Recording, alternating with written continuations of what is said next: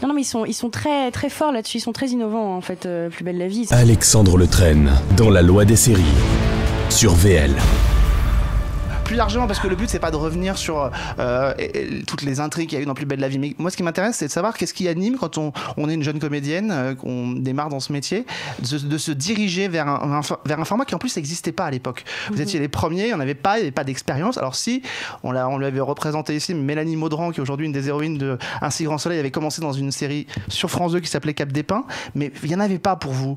Qu'est-ce qui fait quand on est jeune comédienne voilà, qu'on se dirige euh, Est-ce que alors, euh, franchement, euh, à 15 ans, moi j'étais dans le sud, j'avais suivi un peu des cours de théâtre, mais je, je, n'y connaissais rien au monde audiovisuel. Donc, je ne peux même pas te répondre. Pour moi, je n'y connaissais même pas en, termes de format, tout ça. C'était, c'était vraiment, voilà, c'était une autre langue hein, pour moi. Donc, non, je me rendais pas bien compte. Je, me souviens juste, moi, à 15 ans, d'être entrée dans ces studios qui, qui sont des studios énormes. de la Belle de Mai à Marseille. la Belle de Mai à Marseille, 1000 mètres carrés, avec des quartiers reconstitués. Moi, je, en fait, je voulais juste faire bien, essayer de bien faire, alors qu'on avait déjà pas trop le temps. Euh, je, voilà, j'étais extrêmement stressée, je me souviens de ça, mais euh, on m'a très bien accueillie. Voilà, on savait que j'étais un peu la, voilà, la petite crevette, celle qui démarrait et tout ça. Mais euh, franchement, voilà, j'essayais de, de, m'adapter à tout ça avec ce que j'avais appris, mais j'étais déjà, enfin, j'étais encore très très jeune. Et, et du coup, voilà, j'essayais juste de faire au mieux. Mais après, tout en termes de format, de se diriger vers un format, tout ça, mais alors pour moi à l'époque, c'était complètement inconnu. Ah ouais, non, mmh. je, je, voilà, j'étais pas du tout dans ce. Et la charge de boulot, parce que tu l'as dit, même si effectivement le personnage a grandi au fur et à mesure, les séquences se sont ajoutées au fur et à mesure, mais quand on a une charge de boulot à être bon tout de suite, parce que ça on l'oublie, mais il faut être bon tout de suite, on tombe quasiment un épisode par jour. C'est un épisode par jour. Ça représente quoi pour, alors pour le coup, là, pour une jeune comédienne, de se dire allez, on retrousse les manches et puis on y va quoi. Ah bah c'est ça, mais j'avais alors après voilà, on m'aidait beaucoup. Hein. Je, je vivais pas seule, j'étais, je vivais avec d'autres comédiens le soir qui me faisaient me répéter mes textes. Celle qui jouait ma mère, donc euh, Cécilia Ornus, qui était très présente aussi, qui m'aidait beaucoup. Euh, et puis il faut savoir qu'on était 15 comédiens à l'époque. Aujourd'hui, mmh. euh, ils sont 35-40. Là, on était 15, un épisode par jour. On avait une prise et demie pour faire les, scènes, quoi. Ça allait tellement vite.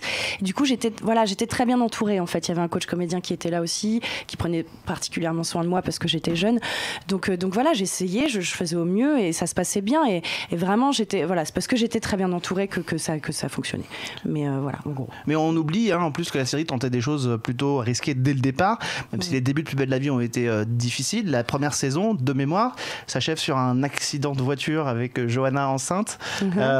et ben voilà, une ado enceinte, ça paraît couillon comme ça de le dire, mais à la télévision française dans les années 2000, c'était quand même un petit peu innovant d'avoir une ado. ah oui, oui, oui, C'était avant Clem. Hein.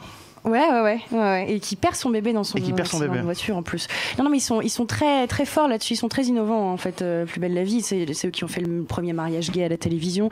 Ils parlent de sujets quand même euh, dont on ne parle pas forcément ailleurs. Et ils sont très en avance en plus. Et, euh, et je suis, moi, j'ai été fière de ça, de défendre pas mal de sujets de société dans cette série.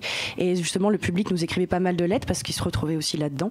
Donc pour ça, ouais, ouais, pour ça, je trouve que c'est une très bonne série. Et quel est le personnage qui n'est jamais passé par la case Baumette à Marseille. Est-ce que tu y es allé, toi? Non, moi je Bah, toi, tu y es jamais allé, toi. Non, bah, voilà. Garde à vue ou de mes jeunes. Non, non, jamais. Je, non, parce moi, je quand même, jamais passé. Le Mistral a quand même un quartier présidentiel euh, dans la prison des Baumettes, à mon avis. C'est les anciens prisonniers. C'est les anciens prisonniers. Euh, paradoxalement, est-ce que c'est facile quand on, on, est reconnu, connu, qu'on se présente devant le public pour être un personnage comme ça, qui en plus a été très populaire Est-ce que c'est facile d'en sortir? Enfin, d'en sortir. pour faire autre chose. Je suis... Alors, bah, moi, encore une fois, je vais toucher du bois, genre c'est mon grand truc.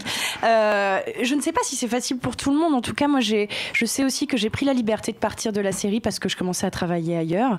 Et, que pour moi, en tout cas, ça fait cinq ans que je suis partie. Je fais des petits retours parfois, des petits coucous.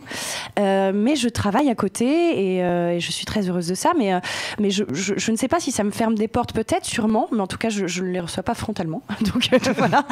Douleur, pas parler. Pas. Mais, mais voilà, je pense que ça, ça doit être difficile pour certains, mais j'ai eu cette chance-là. Pour l'instant, je, je, travaille ailleurs. Et n'oublions pas, hein, je le disais tout à l'heure, mais c'est qu'aux États-Unis, euh, il y a des grands comédiens qui ont démarré dans des, euh, dans des soaps purement. Eva Longoria, par exemple, a démarré dans Les Feux de l'amour. Johnny Depp, euh, Sarah Michel Gellar a commencé dans un soap. Donc euh, voilà, c'est chez nous qu'on a du mal à imaginer les comédiens et les comédiennes faire autre chose. Mais... Oui, c'est ça. Et en plus, c'est vrai que ce ne sont pas les mêmes manières de travailler. On ne peut pas. Euh, il y a de très très bons comédiens qui sont passés sur Plus Belle en disant Ah oui, en fait, je sais pas comment vous faites. bah ouais, c'est un exercice mmh. particulier. Et on peut pas être aussi bon dans une série comme Plus Belle la vie qu'ailleurs parce qu'on n'a pas le temps, parce que les auteurs aussi n'ont pas le temps. Ils doivent, ils doivent écrire à peu près je sais plus, 90 scènes par jour. C'est un truc de malade. Et du coup, effectivement, on est obligé de rappeler aussi ce qui s'est passé. Donc, on a des scènes qui se ressemblent. Je veux dire, la, la- la- la- charge de travail est énorme et, euh, et on a un nombre de prises très limité. Donc, du coup, on ne peut pas être très très bon. Euh, voilà, il faut jouer à l'instinct. C'est une autre manière de travailler. Donc, on peut pas vraiment juger la palette d'un comédien sur une série euh, euh, de ce format-là, en tout cas.